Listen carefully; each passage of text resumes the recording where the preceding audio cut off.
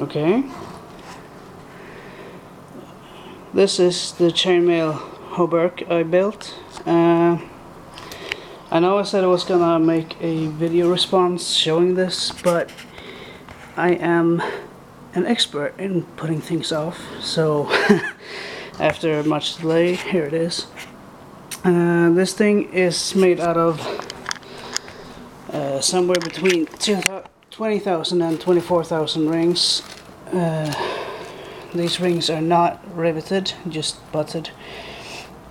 Uh, I made the rings myself with a drill, much like uh, Will did, and uh, we used 2 millimeter thick galvanized steel thread to make these. Uh, the reason the rings are very different in how much they shine is because uh, I had some breaks when I made this, so I didn't make it all at once, and uh, some of the rings are a lot older than the others. I have also worn this at different occasions, and uh, that's why some parts look very more uh, look more weathered than the rest.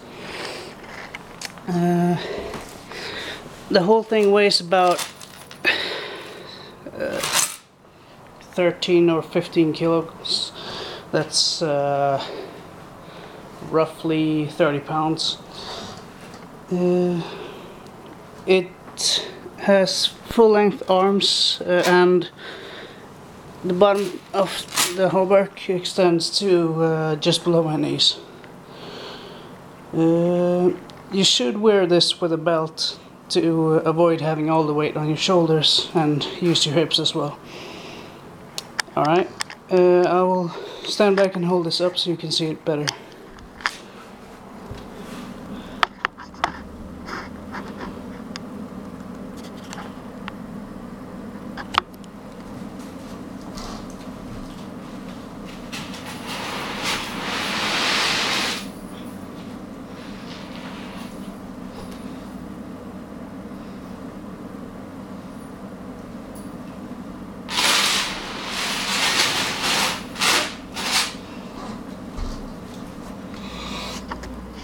Okay, there it is. Uh, I have al I'm also in the process of making a chainmail coif, but at the moment I'm I've run out of rings, so it's just taking a break. Uh, well, uh, if you have any questions or comments, then please leave a comment. And thanks for watching.